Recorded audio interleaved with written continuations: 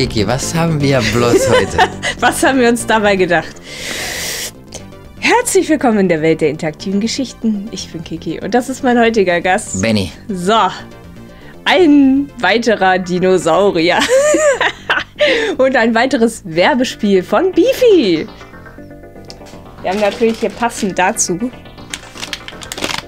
Ne? Hier, XXL. Eine Bifi-Roll. Nicht, dass wir hier gesponsert werden. Das, äh, Nee, das haben nein, wir überhaupt nicht. selber kaufen mussten. Alles. Alles. ich glaube, das Spiel gab es aber umsonst irgendwo, ne? Na, wer, Wäre soll sonst viel zu traurig. denn, wer, also, wer soll dafür bezahlen? ja, ne? wer- ja, So, das ist immer wieder mal gucken. Ne? Da irgendein Praktikant hat man an eine Ecke gestellt und gesagt, ach, mach mal aus diesem Pixelhaufen ein Spiel. was Flottes. Was, Mit was Pep. fetzt mit Pep. Und, aber nicht äh, zu pikant. Genau. Und dann haben wir das hier gebaut. Ja, Äh, man hat auch keine äh, Sprecher, äh, die müssen wir jetzt sein. Ja, und das. Achso, und dann haben wir Ja. jetzt eine neue Mechanik, wie wir das spielen werden. Ach so, ja, also, genau. da das Spiel sehr crazy ist und voller Box und sowas. ich habe die Lösung hier auf mein Tablet. Und Kiki darf pro Folge mich zweimal was fragen. Er ist mein Joker. Ich, ich lese das nach. Ja, aber ich hoffe, dieses Spiel ist einigermaßen selbsterklärend. Wir fangen einfach mal an. Die Stimme ölen. Weil wir müssen sehr viel lesen wahrscheinlich, was die Leute so sagen. Äh, ja, ich denke, die Einstellungen sind okay zum Spiel, bitte. Oh, und jetzt sag du mal, was du in den Ferien getrieben hast, Lukas. Genau, erzähl mal. Ich hab gejobbt. Ach ja, richtig. Deine Anmut kotzt mich an. Davon hattest du ja schon vor den Ferien gesprochen. War's gut? mhm. Ich fange mal am besten ganz von vorne an, ja? Dann lass mal hören. Also, ich bekam diesen Job beim Rapido-Transport. du meinst den Fahrradschnellservice in der Stadt? Boah, die ist aber so ein Genau. Putzickig. Was ist das denn? Ganz einfach. Mansplaining. Man setzt sich aufs Fahrrad und fährt den ganzen Tag Eilsendungen in der Stadt herum. Ich will jetzt schon nicht mehr. Meistens kommst du mit einer Menge interessanter Leute zusammen. Also beispielsweise Agenturen und Reisebüros voll spannend, Modecenter und Großbetriebe. Und natürlich die Filmstudios. Was? Ehrlich? Klar doch, Schätzelein, ich bring dich groß raus. Und genau dort ist mir was total Irres passiert. da bin ich aber gespannt. Also, alles hat mit dieser Eilsendung von Beefy angefangen. Scheiße. Die Mini-Salami, die Beefy Roll, die Pepperami. Genau.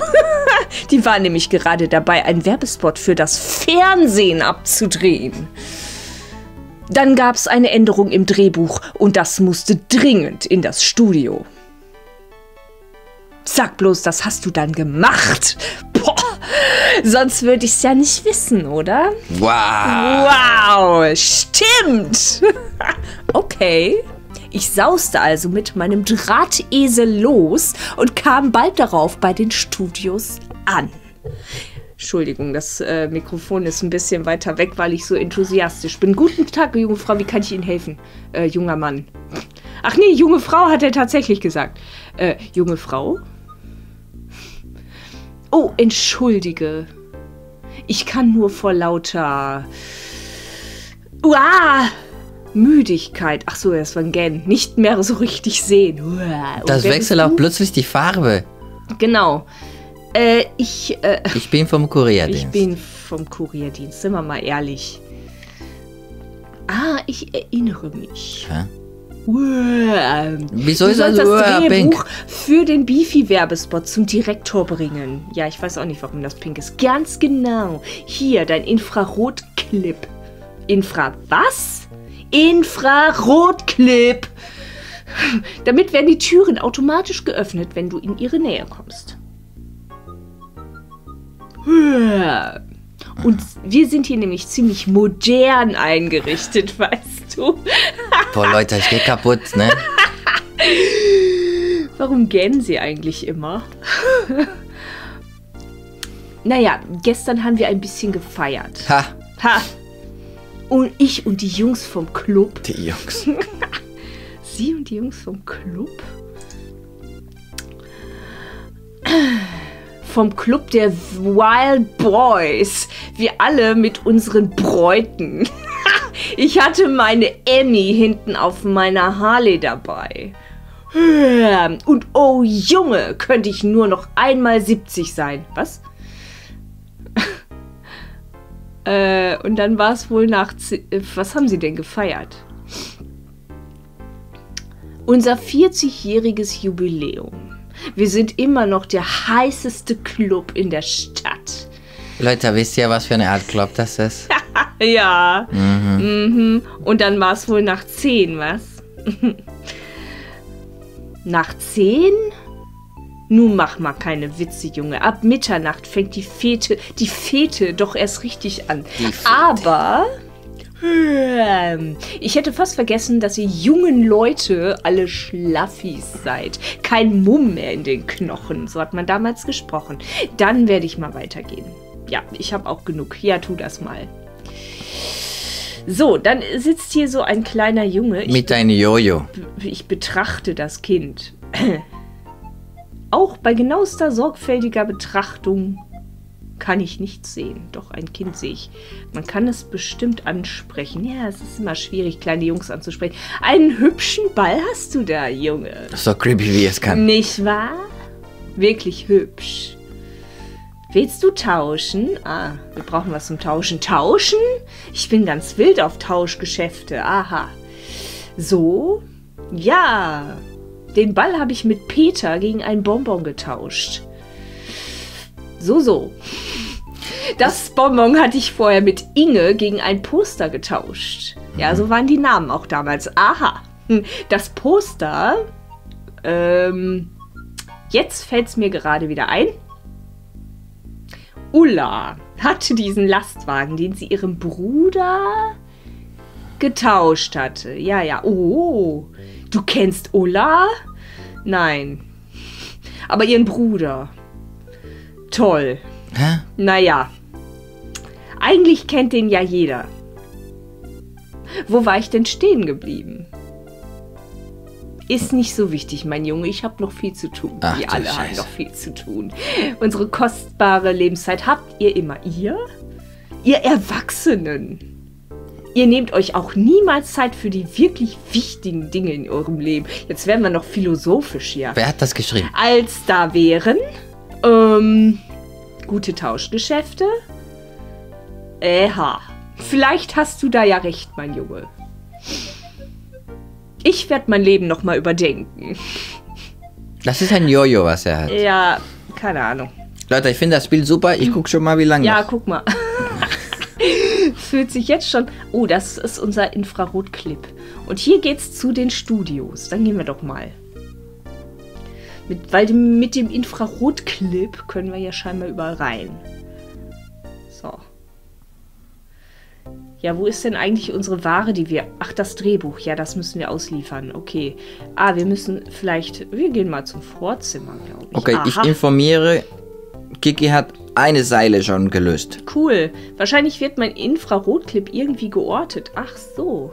Ja, das ist natürlich sehr praktisch. Den braucht man gar nicht benutzen. Also wir sind jetzt im Vorzimmer. Uh, kann ich Ihnen helfen?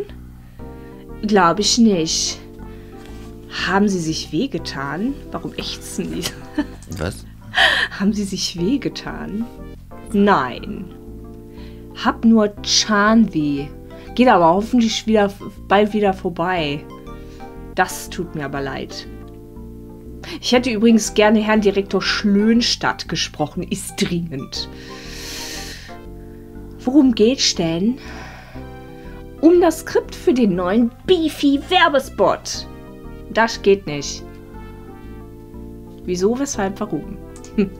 Wieso? Weil er nicht da ist. Sie können das Skript auch da aber auch mir übergeben. Achso, ouch. Nicht ach so. Ich darf das Skript nur persönlich überbringen, okay. Ich, hab ein, ich muss einen Wecker ausschalten. Ich lese dann so lange weiter, ne? Ich, ich, ich darf das nur ähm, persönlich überbringen, das Skript. Dann müssen Sie warten. Na toll. Wollen Sie nicht mal zum Zahnarzt gehen? Wie wär's? Nein! Was? Das geht schon vorbei. Ach. Wann kommt er denn wieder? Ich weiß es nicht. Dann warte ich eben so lange, bis er kommt. Na super, das kann ja dauern. So lange können wir uns hier mal vielleicht später. Ach so. Ja, sie guckt uns über die Schulter. Schere. Mm. Ich nehme schon mal die Nymph-Funktion. Ich weiß nicht, was ich jetzt mit dieser Schere machen soll. Ja, pff. Ein, einsammeln? Ja gut, damals der, das Inventar war noch nicht so groß. Wahrscheinlich kann man nicht einfach beliebig alles mitnehmen. Mm, betrachten. Wir betrachten mal das Regal. Was haben wir denn hier? Voller Bücher und Geschäftsunterlagen. Voll interessant. Äh, Fenster. Gucken wir aus dem Fenster. Schöne Aussichten. Herrlich. So, was ist hier? Vielleicht später. Achso, vielleicht öffnen wir mal hier die Schubladen. vielleicht später. Na gut.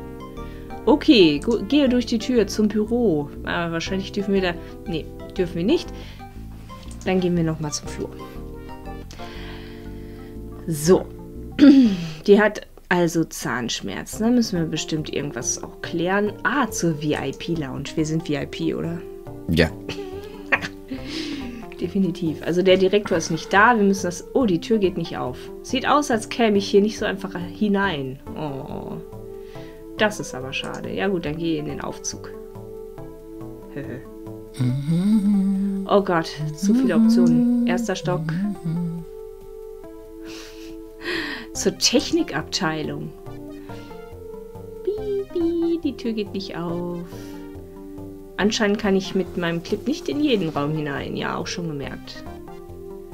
Zur Requisite. Ja, warum nicht? Die Tür geht nicht auf. Yay. Okay, zum Glück kann man das. Uh, die Denkfabrik.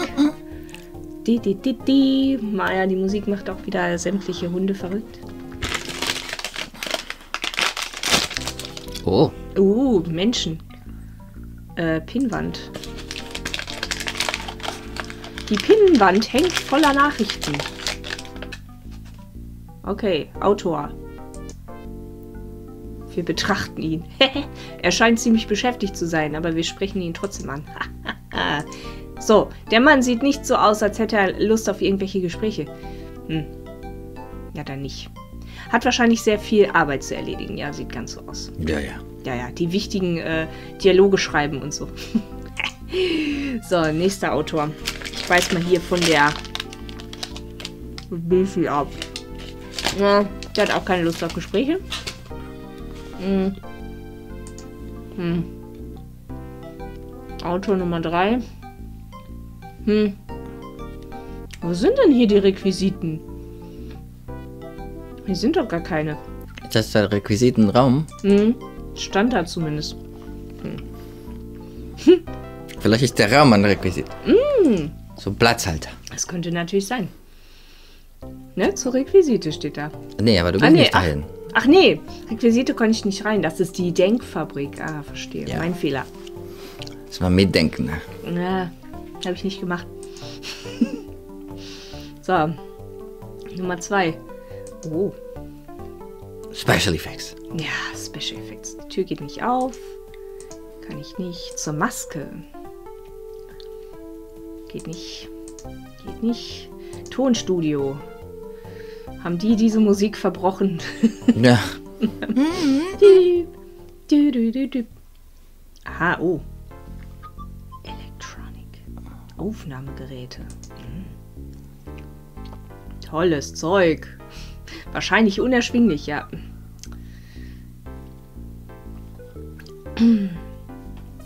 Kabine.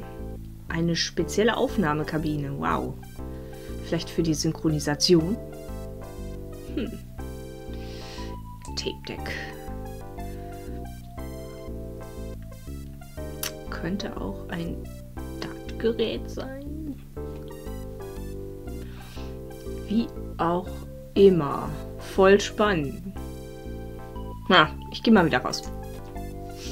Wir haben noch nicht alle Stockwerke durch. Ja, es sind noch ist zehn groß. Stück. Ja, ja. Ding, ding. Ah, voll spannend.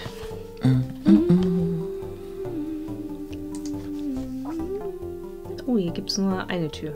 Wie praktisch. Zu einem Drehort.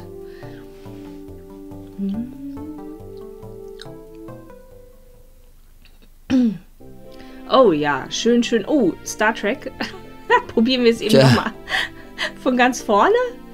Na klar. Nein, nein, von der Mitte von Mist. Satz. Kamera ab. Oha, Captain. Ja? Wir haben da etwas auf dem Bildschirm. Schau, schau. Okay, wir können uns das... Ich will jetzt lieber nicht stören. Okay.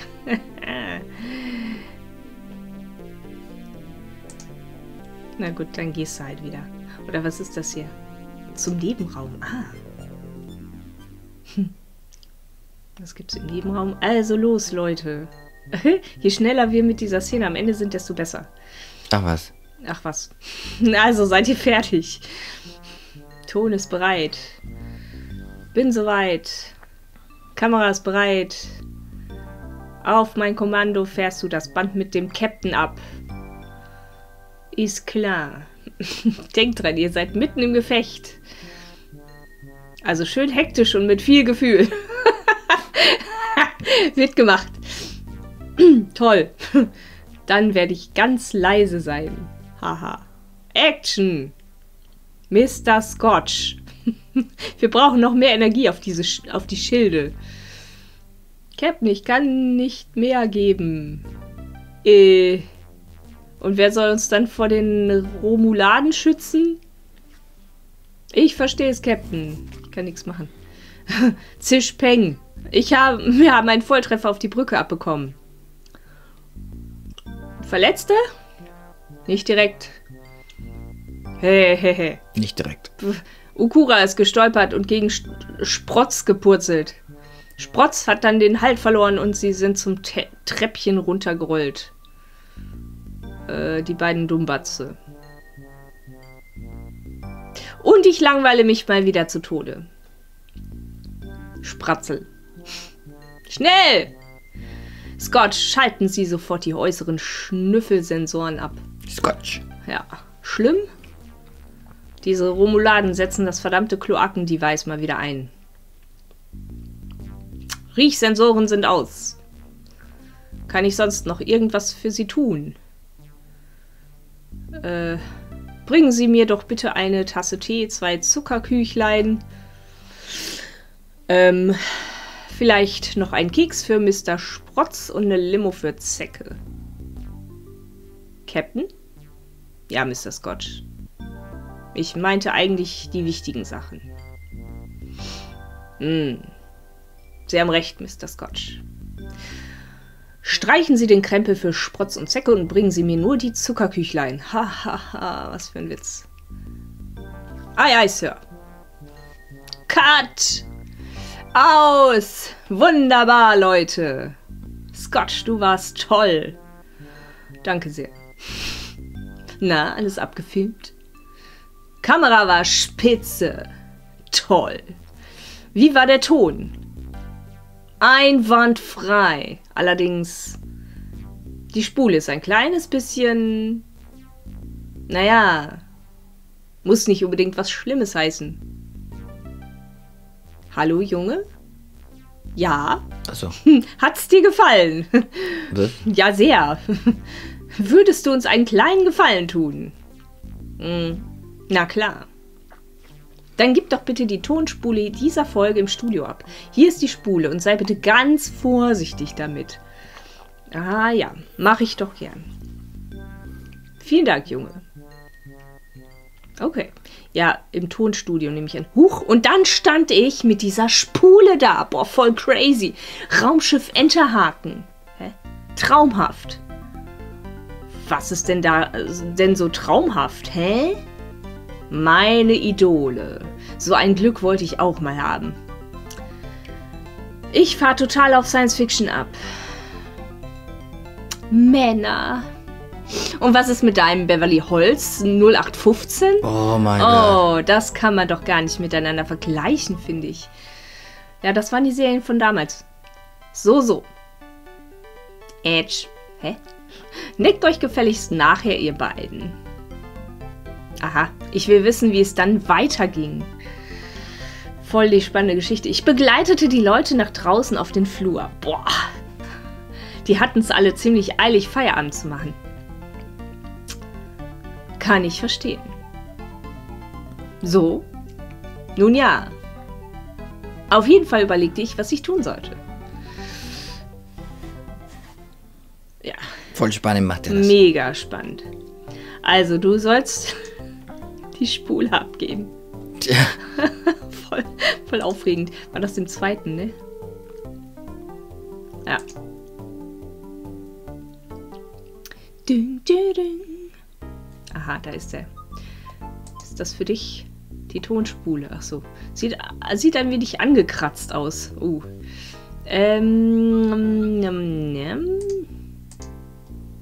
Ach, ja. Jetzt muss ich das hier nur noch. Ach, ich, ich rede einfach jetzt mit dem. Vielleicht nimmt er sich die ja einfach selbst.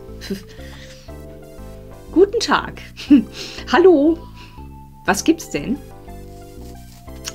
Äh, ist dies das Tonstudio? ja, da bist du hier richtig. Hier ist die Welt des Wohlklanges. Äh, sind Sie der Tonmeister? genau, genau. Ich schalte und walte hier meines Amtes. Sind das viele Geräte? mein ganzer Stolz. Mixer, Equalizer, FX-Prozessoren und alles in Hi-Fis. Äh, und was habe ich habe was für Sie, für mich? Diese Tonspule hier. Danke.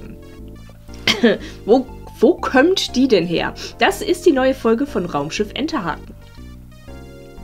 Na, den wollen wir mal kurz reinhören. Aha, Rock, Rock, Rock. Keine Ahnung, Sprotz. Spul, Spul. Sternzeit. Rock, rock, rock. Captain? Ja, wir haben da etwas auf dem Bildschirm. Ach so. ja. Ah, das müsste die Szene sein, die zur Na Zeit nachgedreht wird. Ach was. Echt? Genau, das ist sie. Ich habe gerade gesagt, schau, schau. Ein Rass, Rass, Rass. Gro was? Gnoses? Was? Omelette. Ah ja. Jetzt versteht man nicht mehr so richtig viel. Die Tonspule muss wohl irgendwie defekt sein. Sorry. Mhm. Ah, wie soll ich die denn in Ordnung bekommen? Es sei denn, sag mal, wenn du vorhin am Set warst, hast du die Probe doch bestimmt gesehen. Äh, pff. Weiß nicht, naja. Wenn du die Dialoge mit mir rekonstruieren könntest. Ich habe alle Stimmen in einer Datenbank und dann könnte ich die Tonspule. Ja, ja. Äh, das muss klappen. Geh auf jeden Fall, geht auf jeden Fall schneller, als nochmal neu aufzunehmen. What? Ja, schneller auf jeden Fall, aber Ja, nicht gut. Hilfst du mir? Na klar doch. Mach ich gerne. Nett von dir. Dann wollen wir mal. rock, rock, rock. Genosses Omelette. Äh, was könnte das sein? Großes, Om äh, rotes Omelett. Ich sag mal großes Objekt. Großes Objekt. Kritzel, kritzel. Äh, Gut, weiter. Rock, rock, rock. Wolle Knäulengurs. Hm. Was heißt das denn? voller Knollenblume, voller Kollisionskurve, vollem Kollisionskurs. Hm. Kritzel, kritzel, gut, weiter. Voll gut. Snaken Sie da Fremde. Was könnte das heißen? Tja, hast du eine Ahnung? Mm, haben Sie die Hemden? Sagen Sie den Fremden? Jagen Sie die Fremen? Ach, ich sag mal das hier. Es gibt am meisten Sinn. Sagen Sie den Fremden. Kritzel, kritzel. Gut, weiter. Eiferbrätie Kema. Hm. Was könnte das sein? Ei verehrt jemand? Mein Gerätle geht ja, mein Captain kann doch. Nein, nein, nein. Ei verehrt jemand? Was? Ich glaube.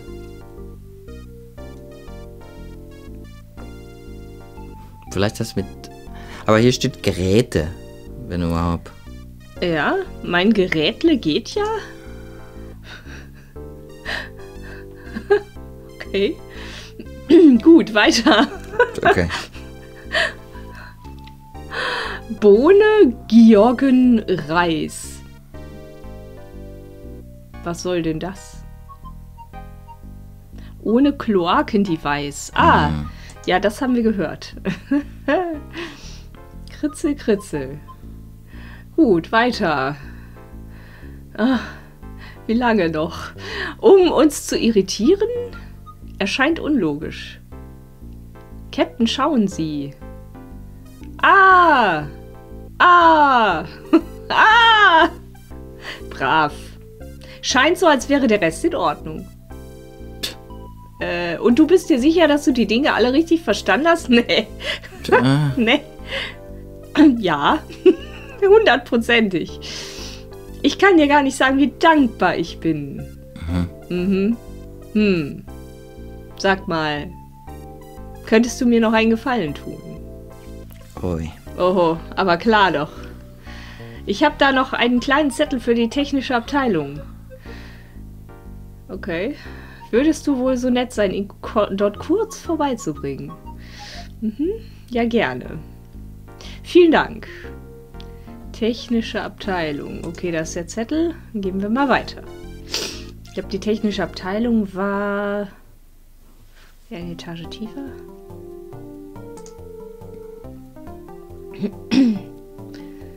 dun, dun, dun, dun, dun, dun. Muss Rex gewesen sein. Also, da kann man ja gar nicht rein. So, die Tür geht nicht auf. Aha, super. An, ah, ja. Betrachte Nachricht. Da steht was drauf, was ich nicht lesen kann. Italienisch? Oder vielleicht. Das ist die Denkfabrik.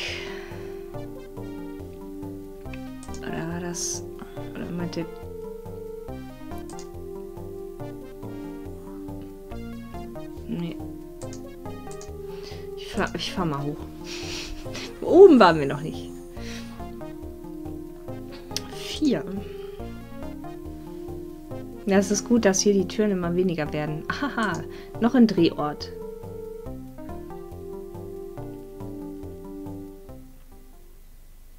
Was ist denn das? Hallo? Was wird denn hier gedreht? Eine Action-Szene für den neuen Film mit Sly Sylvester. Ja, Mai. Sieht ja mächtig gefährlich aus. Klar. Ist ja ist auch eine dramatische Szene mitten im Dschungel. Ansonsten scheint aber nicht viel los zu sein, oder täusche ich mich? Naja. Sly ist nicht so ganz vom Abspann überzeugt. Sein Name wurde nur 14 Mal erwähnt. Nur 14 Mal, ja, das kann ich verstehen. Sly will unbedingt noch unter Dialogregie genannt werden.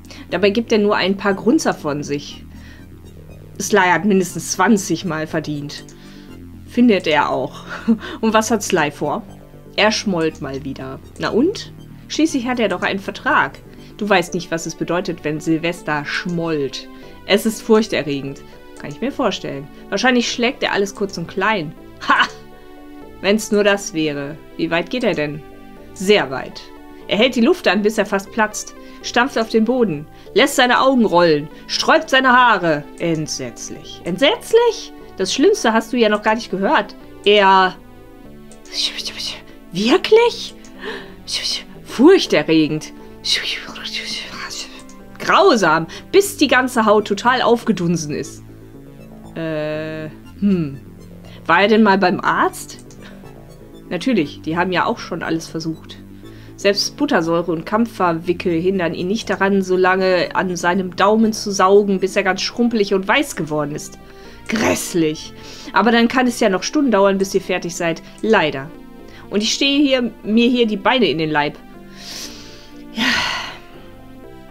Okay, dann gehen wir wieder. Okay, fahren weiter. Das hätte man alles in einer Tasche machen können. Eigentlich schon.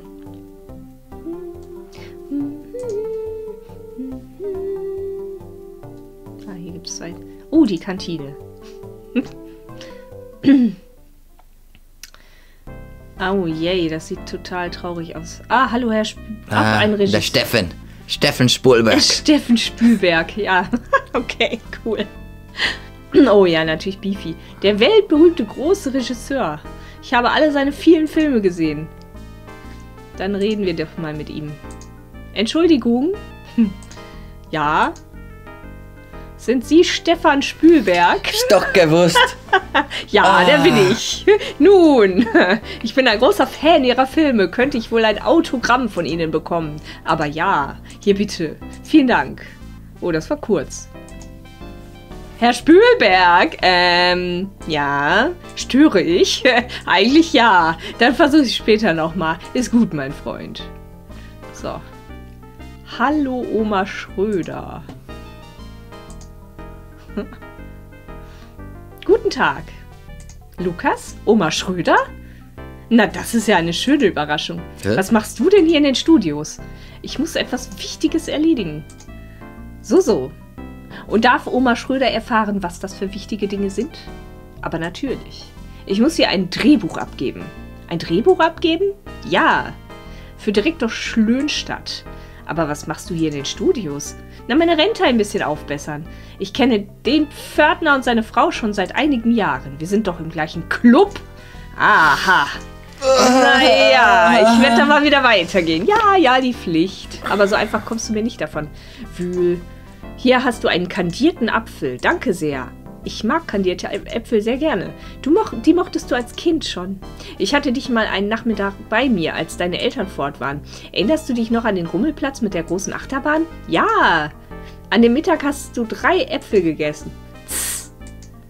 Kleiner Vielfraß. Naja, ich werde dir noch was Herzhaftes mit auf den Weg geben, damit du nicht nur dieses süße Zeug da in dich stopfst. Aber Oma Schröder, nein, nein. Nicht so bescheiden, mein Junge, und lass mich dir eine Freude machen. Ich hab die ganzen Beefy-Snacks hier. Lecker. Also, ich hab hier die Beefy Roll, Beefy Pepperami, Beefy Jumbo und die neue, ganz neue Karazza. Da fällt die Wahl schwer. Aber ich werde eine Beefy Roll nehmen. Hier, Lukas. Danke, Oma Schröder. Aber, aber. Und jetzt mach dich mal fix auf den Weg, damit du das Drehbuch pünktlich abgibst, ja? Ja, natürlich. Tschüss, Oma Schröder. Tschüss, mein Junge. Und grüß deine Eltern. Mach ich. Ich frage mich jetzt, Was machen wir mit dem Apfel? hat das irgendwas mit Beefy zu tun? Nix, eigentlich. Und was für ein Club ist da Oma Schröder und Co.? Und bieten wir dem Jungen Süßigkeiten an. Das und vieles mehr Erfahren wir vielleicht in der nächsten Folge.